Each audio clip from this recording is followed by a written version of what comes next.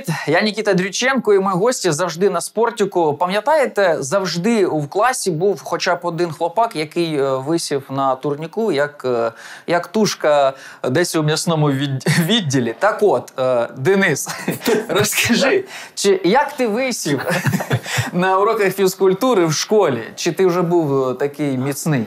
Як ти виглядав у дитинстві в школі? Как все дети, как все подростки, абсолютно не было никаких у меня там суперфизических достижений, и не был слабаком. Средний, статистический, обычный, нормальный, нормальный подросток. Я, який ось надрив у тебе відбувся, що ти такий, та щось замалувата біцуха?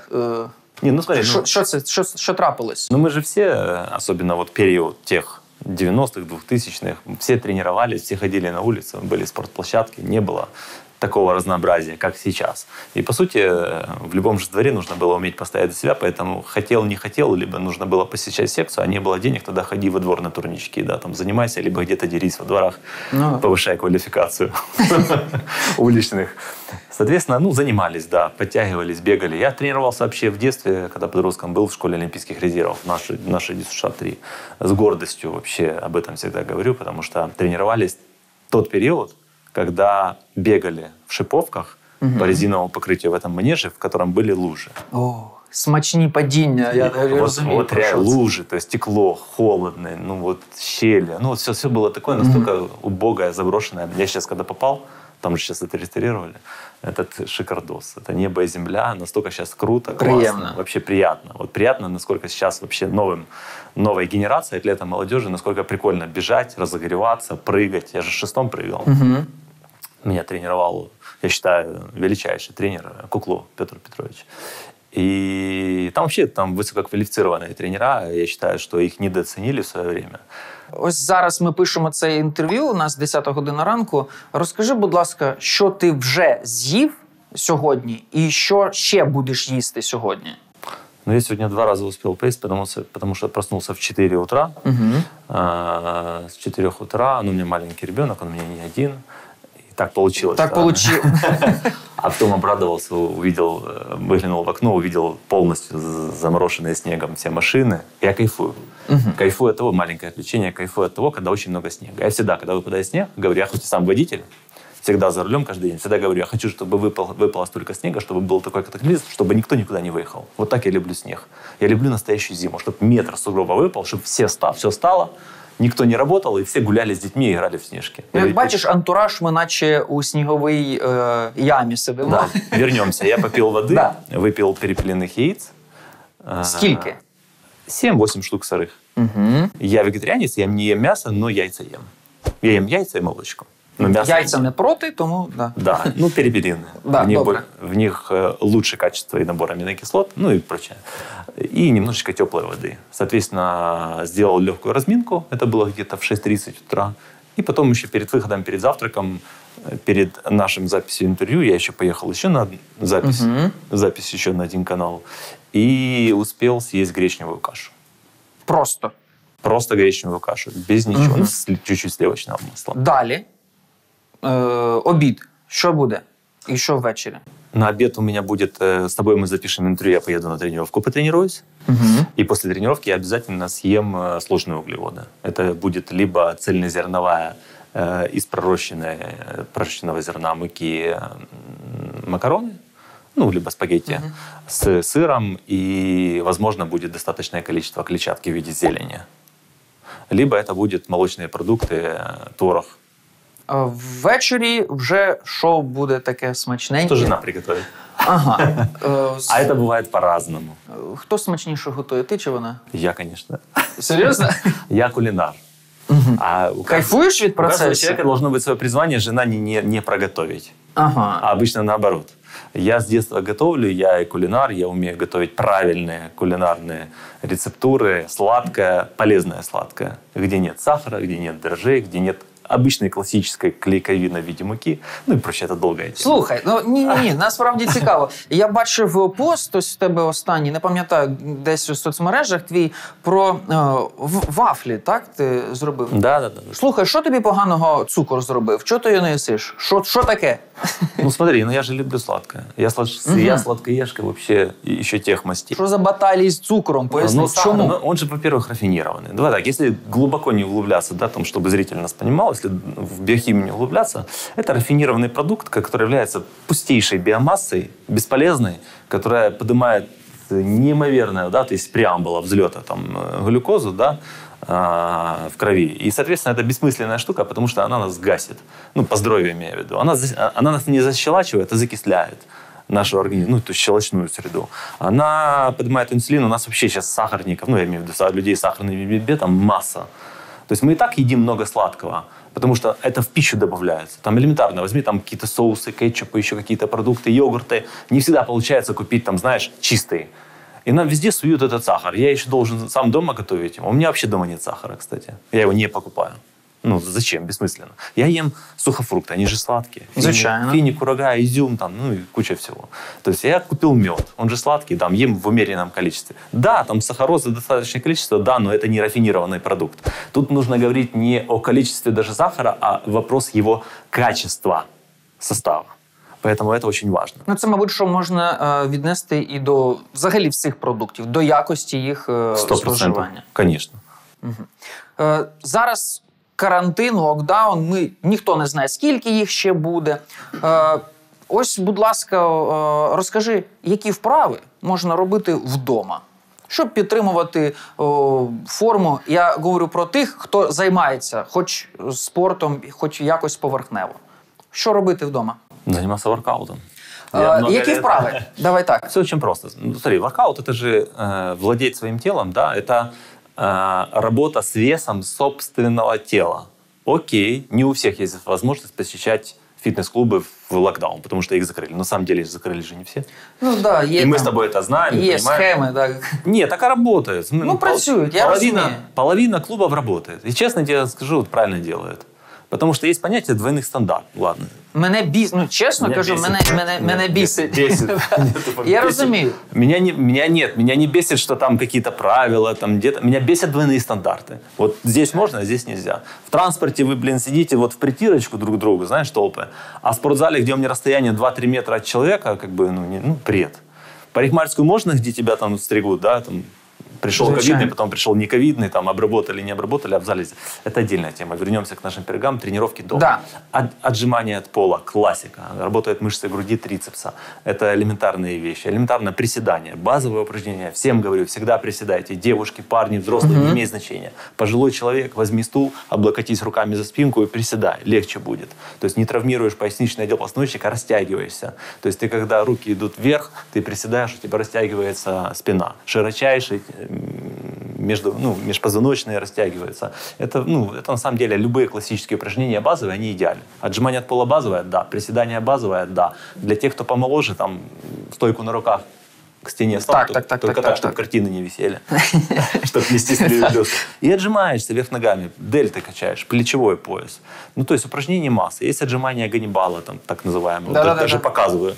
Просто вот берешься об кровать, да, или об спинку, там, табуретки и делаешь классическое упражнение на трицепс руки.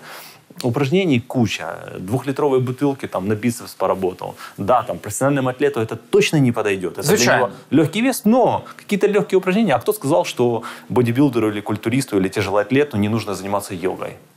Ну, позанимайся ты йогой, в конце концов. Да простягивайся, в конце концов, дома. Ти як з йогою продовжуєш? Дружу. Очень редко, но дружу. Ну, вот я в Азии, когда часто был до Так. карантинных всех этих... Я, я путешествую очень много, люблю это дело. И там я очень часто занимаюсь вообще стретчингом, растяжкой, йогой. Э, Дніпрі нема натхнення вже такого времени. чи часу.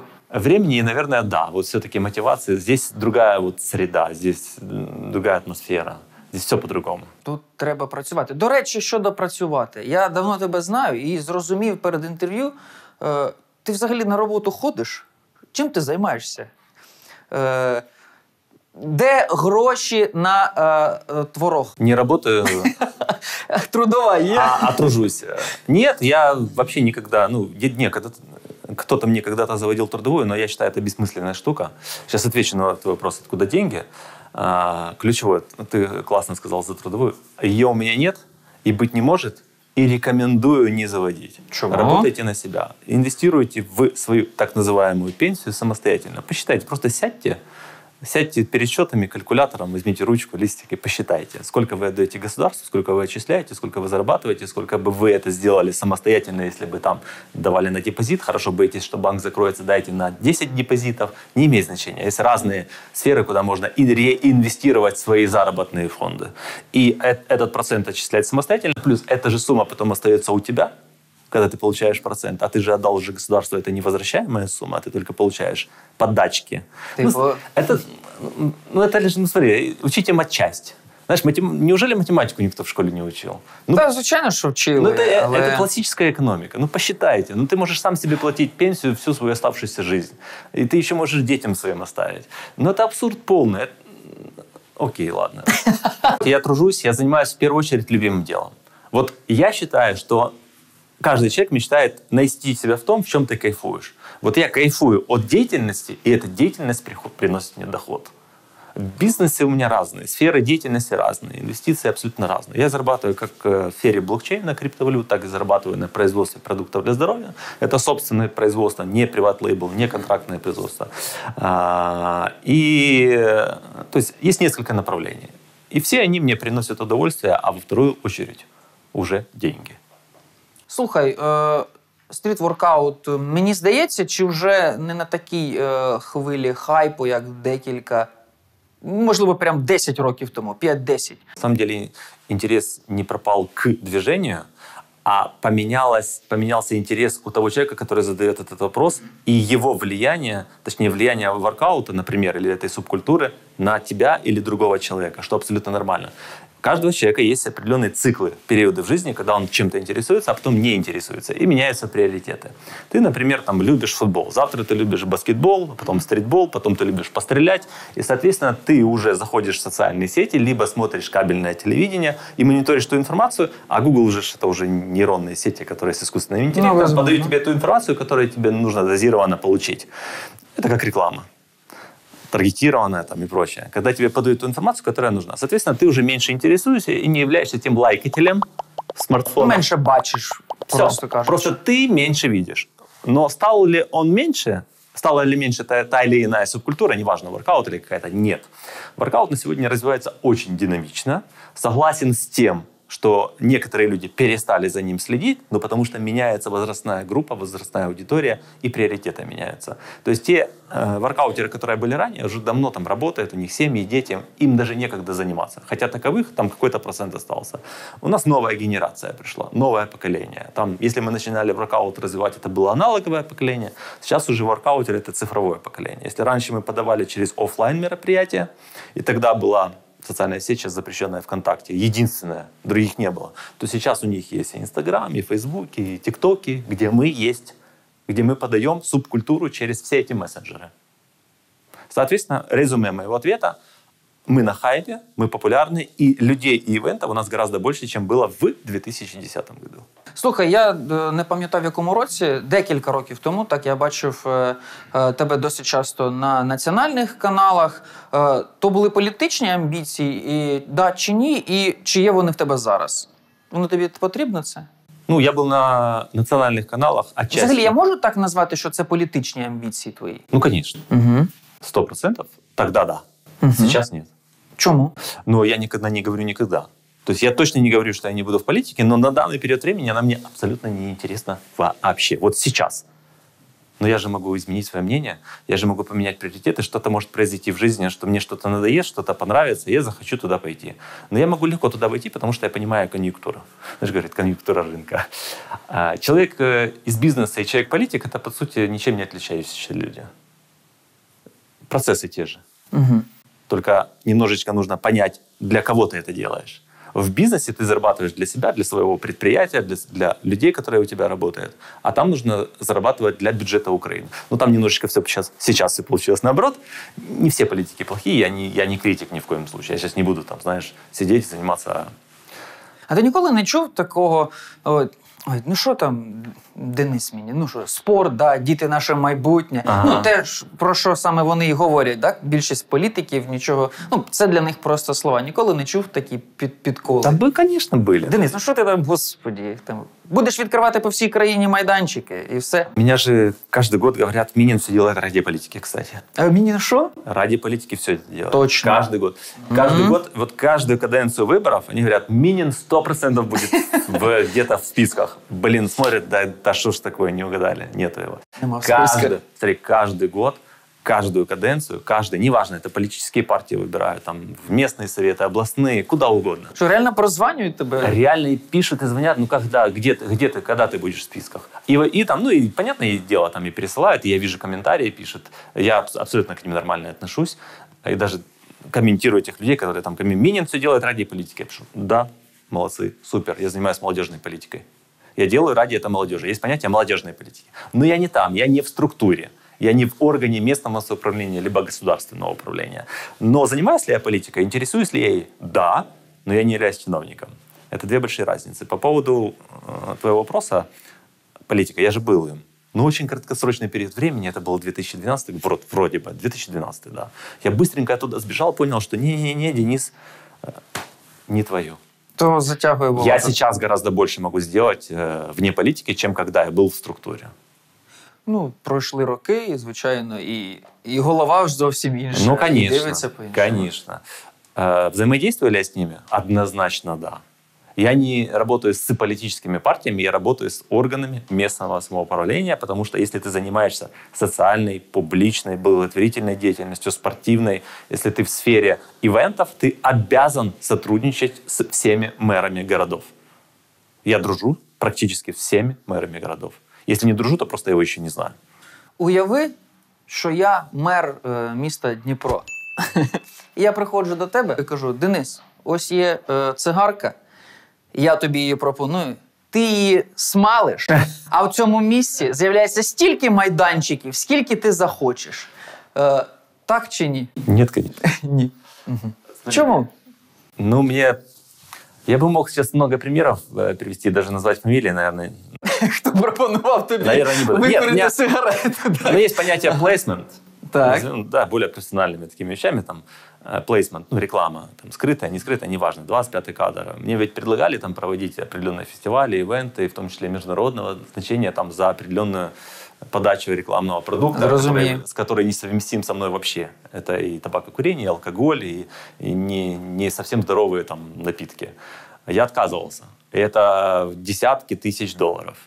Ну, смотри, ну, ты строишь карьеру, там, строишь бренд, строишь имя там, десятилетиями, да, и потом, что в один день ты все это пересыраешь, никому это интересно. Мне это не нужно. Тут же вопрос не денег, а, вопрос не количества цифр, а вопрос в удовольствии от жизни. Я занимаюсь любимым делом. Я взращиваю свое детище, субкультуру здорового образа жизни. Мне это нравится. То есть придет мне сегодня там одна, вот, вот так денег или вот так денег, мне без разницы. Ну, то есть я кайф, еще раз, я кайфую от жизни. То есть количество денег не имеет значения. Да, это является инструментом, да, без них невозможно. Він полегшує багато чого. Очень сильно облегчает по жизни, но вопрос количества, кому это нужно. Для кого? Для чего? Ну, то есть больше машин, больше квартир, а смысл? Я кайфую от другого. Я кайфую от путешествий, где не нужны квартиры, машины, рестораны, казино, там, кто, кто на что тратит деньги. Я кайфую от путешествий. Слухай, а ти можеш згадати, коли востаннє ти був п'яний? Чи було таке вза- Это взагалі? дав- ну, смотри, Ну, я розумію, що давно. не помню, честно, ну, приблизительно, давай Ага. так, чтобы вот прям... Ну, такий, що... Потом друзья там, знаешь, комментарии, да вот мы с тобой там... Да, что там Вася, Денис да, да. рассказывает, да. Так что друзья там, это, примерно это было в 20, наверное. 20. Ага. Що, якась е, вечірка чи щось таке? Да просто. Просто, ну, да. Як більшість. е, Як всі, да. да. мгм. Как Зрозумів. всех деградировал. Коли востаннє ти бився з кимось? Ну так, щоб смачно. Ну вот в период как раз в этот. В- Коли А ага. вот смотри, все, все плохое, что в жизни происходит, драки, поножовщина, проблемы в семье, аварии на дорогах, все, вот я еще могу десятки пунктов перечислить, сотни пунктов. Все, что происходит плохое, это в 99% случаях в состоянии алкогольного опьянения. ти медитуєш? Очень редко. Раньше медитировал. Теж тому, що ми зараз знаходимося не в тому В другій мі- атмосфері, Да, да. Ага, в другій атмосфері, зрозумів. А серед твоїх близьких. Попробуй, я извиняюсь, перебью. Кажи, кажи. Попробуй помедитировать сейчас за рулем, вот, да, когда снег. Ти просто зупинишся на Или дорозі. приход- Или приходишь такой домой, а на тебя двое детей, двое карапузов нападают. и ты Ну, такой, це, слухай, «М, е, це ом». також медитація. Ну да. Е, Більш активна просто. Да, кайфовая. Это самое суперовское э, У мене, времяпрепровождение. у мене було питання е, трохи пізніше, що в, те, е, що в тебе в житті виникає, е, викликає посмішку. Ну, я розумію, Сейчас що дети. зараз а діти. это такой кайф. И вообще просто такое блаженство. Когда ты прибегаешь домой, на тебя прыгает и вот так вот по тебе. Это кайф, реально. і можна їм ще й займатися. Ну да, лучше с ними выйти на улицу, во двор и позаниматься, что я, собственно говоря, и практикую. Е, Ролью личного примера. Вони ну, дивляться і повторюють. Да никогда ты не заставишь ребенка тренироваться. Ай-яй-яй, идем. Нет, делай сам, они за тобой будут повторять. Просто тому, що їм цікаво це. Конечно. А що робить батько, що робить мама? Дети видят, дети повторяют. Слухай, серед твоїх е, знайомих, е, близьких друзів є ті, хто о, там вживають алкоголь або о, сигарети, але прям що це близькі. Да полно. Так? Ти е, намагаєшся якось їх відмовити А від смисл? цього? Ні? А тут в этом вопросе нужно быть толерантным. Объясню очень коротко. Ну, хейту такого прям немає. О, Боже, Ну смотри, ну вот при- представь, там, да, вот есть субкультуры там веганов, неедов, праноедов, солнцеедов, вегетарианцев, там, а ты, ты, ты там знаешь мясо есть, ты, короче, убийца. Ты там кровожадный, ты, ну, ты понимаешь, ты убиваешь животных, а ты мне, а как, как ты, бля, вот бледный, зелененький, как ты без мяса? И вот начинаются дискуссии вот эти. Это то же самое с курящими, не курящими, пьющими, не пьющими. Я считаю, это вообще бессмысленная штука. Это утопия. Вот заставлять кого-то переубедить. Это бессмысленно. Люди, по сути своей, не меняются. Если он захочет, он сам бросит. То есть ты можешь ему объяснить или рассказать, как классно не пить, только если он задаст вопрос. Либо просто жить, кайфовать, а он это сам увидит. Блин, нифига себе, ты, оказывается, можешь... То есть ты там, например, бухаешь, да? А я нет, мы с тобой в клубе. Ні, я... Ну, образно. Например. И мы такие сидим в клубе, а я реально смеюсь больше, чем ты. Нет, я не курил. Я реально вот смеюсь, я умею отдыхать, я умею общаться. Я заводила в клубе, там, на природе, там, с гитарой, костер. А, неважно где, в коллективе. Я Ти реально... реально граєш на гітарі? Я реально... Я тебе примеры привожу. Ага, добре. Ну, возле костра сижу, я слушаю, как играют на гитаре. Добре, добре. Но я играю немножечко, но больше на нервах. Зрозумів. Ага. И фишка в том, что я могу отдыхать больше, чем ты, э, даже эмоционально, даже вот физиологически. Я больше двигаюсь, я могу танцевать. То есть, и мы это делаем. И потом ты мне задаешь вопрос, блин, смотришь на меня. У меня часто такие вопросы появляются от друзей. А как? Подожди, стоп. Оказывается, можно. И тогда, когда он задает вопрос, я отвечаю.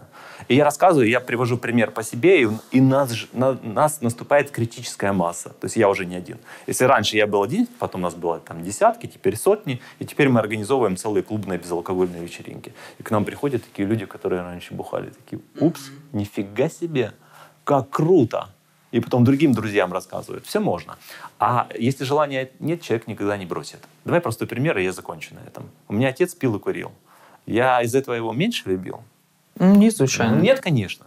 А почему я должен относиться тогда к другим людям так? И наоборот, если я не пью, зачем те должны меня обзывать? А, вот Зожа ведь сектант. Или болеет.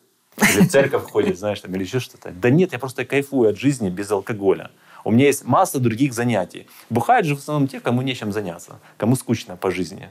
А я, у меня масса, я, я столько еще не реализовал в себе, я еще столько стран не проехал, я еще столько блюд не вкусил, я еще на стольких языках не поговорил, знаешь. То есть мне есть чем заниматься.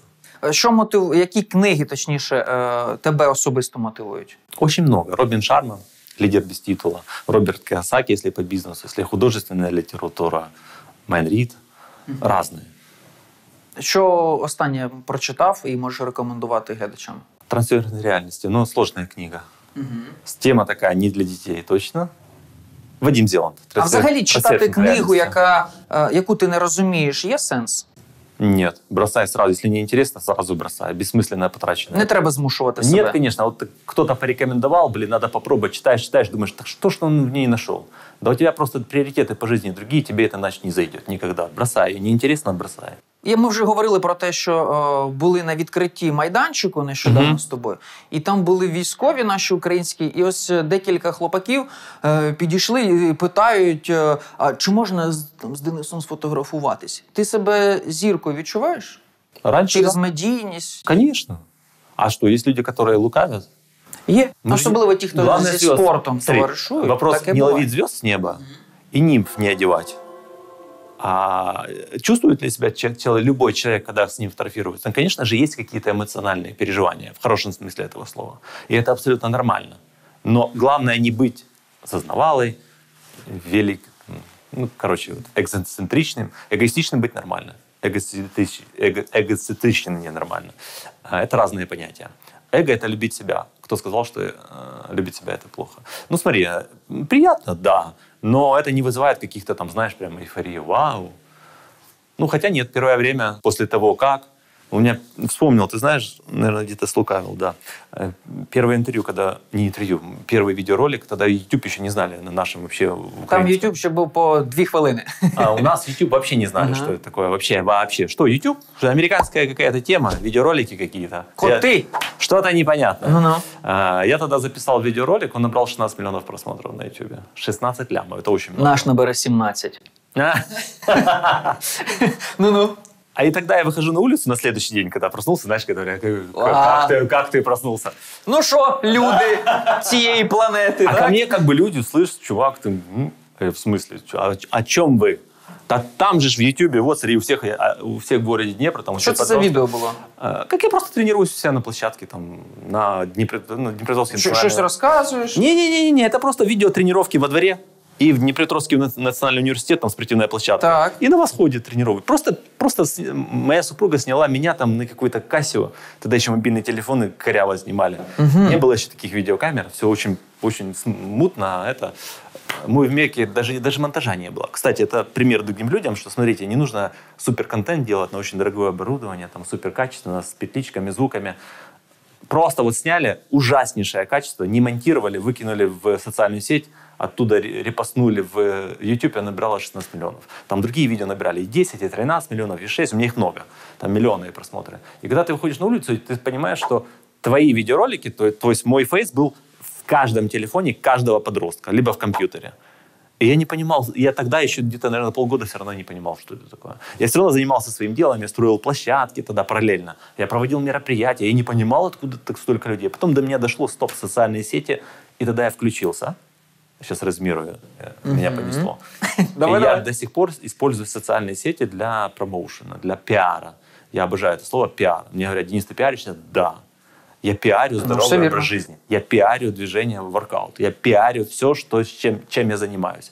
Я свои бизнесы пиарю, я пиарю детище свое здоровый образ жизни. Я пиарю все то, чем я занимаюсь, потому что я это люблю, хочу, чтобы больше людей об этом узнало. Я особисто вважаю, що о, в Україні Харків е, то спортивна столиця.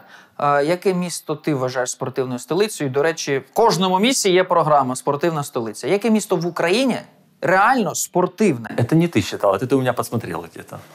Сто проц- сто процентов. Это я говорю об этом. Та Ты что? ні, не може такого бути. Ні, мене чесно кажу, в мене друзі е, у Харкові. Я, е, Я тебе честно говорю, я об этом постоянно вуличні говорю. культури, там ві- навіть вуличні культури на такому рівні, і все, що я бачу в Харкові, відповідає Смотри, е, я тим сейчас, я вимогам. тебя перебью. Вот, тема- Ось давай. Я сейчас приехал э, с эфира к тебе на интервью. Прямой эфир был на канале. У нас было прямое подключение там с Харьковом. Я пример привожу Харьков всем городам, всем мэрам.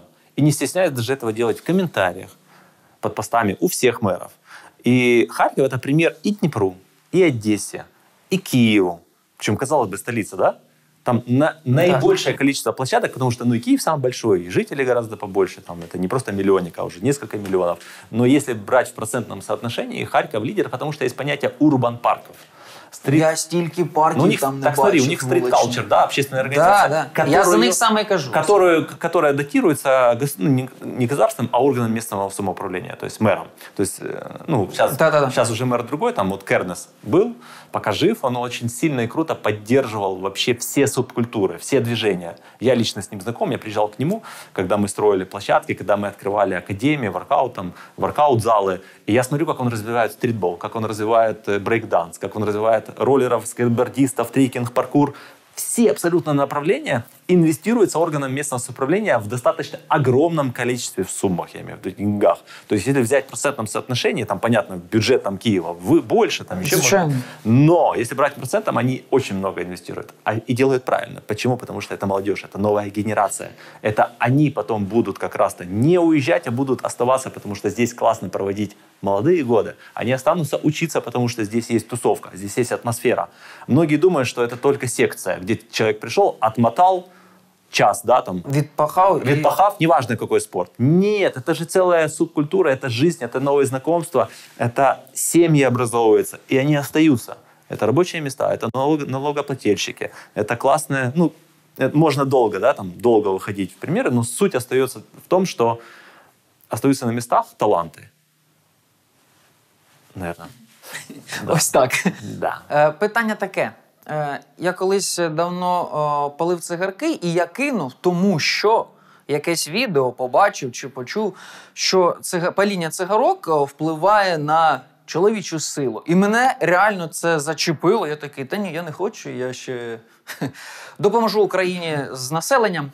Так ось, яка вправа існує для того, щоб посилити цю енергію? Чи є вона у, у вправах е, на турніках, можливо? Сто процентов есть. Есть классное упражнение, которое я рекомендовал очень много лет, и где-то даже видеоролик записывал. Короче, два их много, основные два. Первое Давай. – это спринт. Вот человек скажет, блин, у меня штанги нет, у меня зала нет. Выйди на улицу, одень кроссовочки и сделай спринт.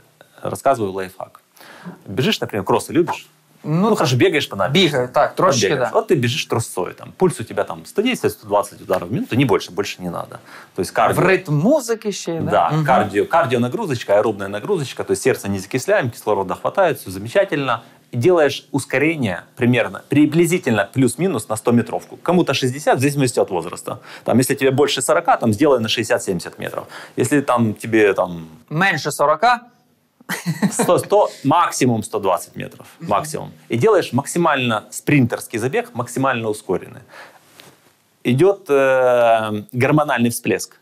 Ну, давай так, мужская сила, сила это гормон. Звичайно. Есть понятие гормона роста тестостерона и самотропина. Вот как раз-то гормональный всплеск при вот таком взрыве происходит. Это первое упражнение. Ну, то есть нужно делать кратковременный забег и потом опять трусой. Либо просто идешь быстро, делаешь забег и опять идешь быстро. Ось То есть достаточно 2-3 таких забега. То есть если хотя бы раз в неделю ты будешь делать такие спринты, достаточно. Плюс базовое упражнение приседания. Не обязательно там как в Ваги пауэрлифтинге, да, там, по 300-400 килограмм. Понятно, все зависит от веса твоего тела, все зависит от уровня физической подготовки, это все метафоры. А, суть в другом, что ты должен взять достаточно под- потяжный вес для тебя. То есть, ну, например, то там вес, с которым ты сможешь сделать 10 повторений, больше не нужно. И поприседай с правильной техникой, с правильной э, биомеханикой упражнения, э, и не навредив спину, не загрузив поясничный отдел позвоночника, сначала разогреться и просто поприседай. Окей, нет штанги, просто поприседай в конце концов. Хоча б. Хотя бы, ну, там 30, 40, 50 раз.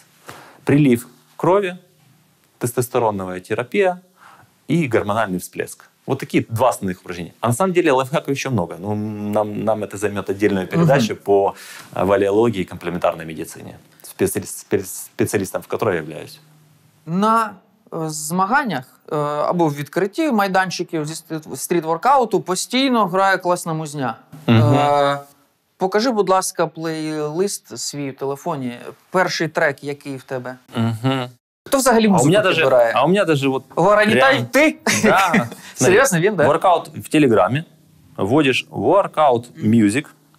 И здесь вот прям workout music. Высвечиваются треки просто обалденные. Так, покажи хоча б якийсь е, на камеру, будь ласка, ось цю. Е, бачите? Ось вам рекомендації для. Хто там? Баста Раймс. Боже, ти, то класика. 50 Ти- ти, Cent. ти знаєш, коли бачиш е, подібну музику, так у людей е, плей, плейлісти, і ти такий. Я мені здається, знаю, коли він народився. Да, да. Ну, не, ну Эминем круто. ремиксы есть даже. Класс, Хаджиме, ой, вообще, класс. это, Хаджи- Хаджиме это классика. Без трак.